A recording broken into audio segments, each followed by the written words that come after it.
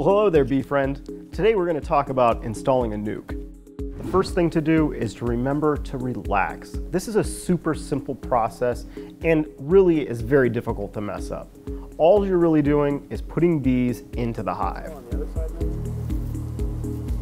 There's a few steps to installing a nuc. First, you're going to open the nuc. Next, you're going to check the queen. And finally, you're going to put the frames from the nuc box into the hive.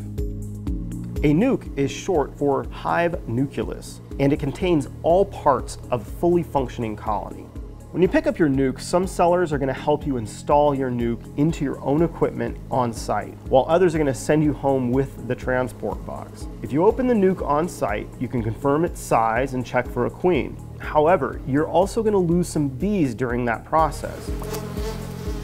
If you take your bees home before you check, make sure you check right away when you get home that you received what you agreed upon.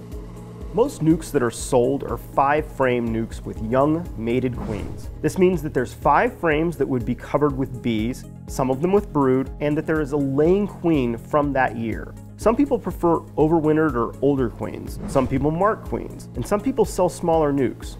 Always make sure you know what you're paying for.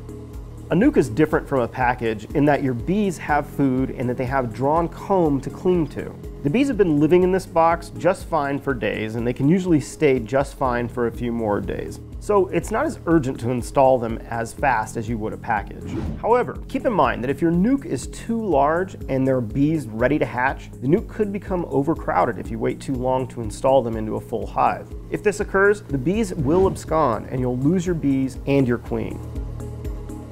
Here's the equipment you're gonna need to install your nuc. The nuc, a fully set up hive with one deep or two mediums, and a hive tool. If the weather's terrible or it's late at night, then just set the nuc box on top of the hive and open the door to let the bees fly. Come back the next day and install the bees when the conditions are better. And don't worry if there's light rain or if it's cloudy. The bees will be just fine to install with these weather conditions.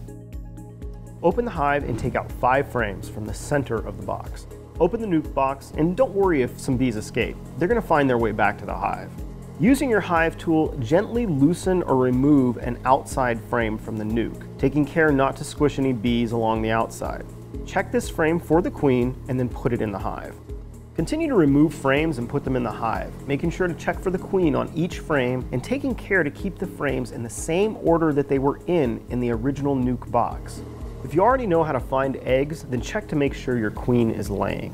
Seeing eggs is an important part about beekeeping, so if you don't know how to do it yet, have someone teach you. But regardless, the main point is to get the bees in their new home as soon as you can. Push all your frames together tightly.